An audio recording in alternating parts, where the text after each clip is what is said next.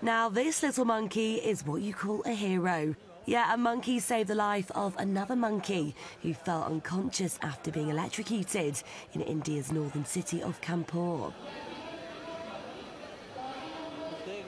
The monkey was electrocuted while walking on high tension wires in the city's railway station.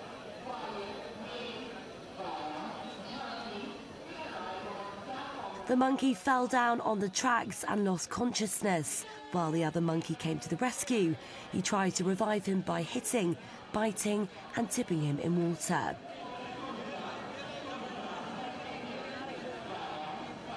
After more than 20 minutes, the electrocuted monkey showed signs of life and started to move.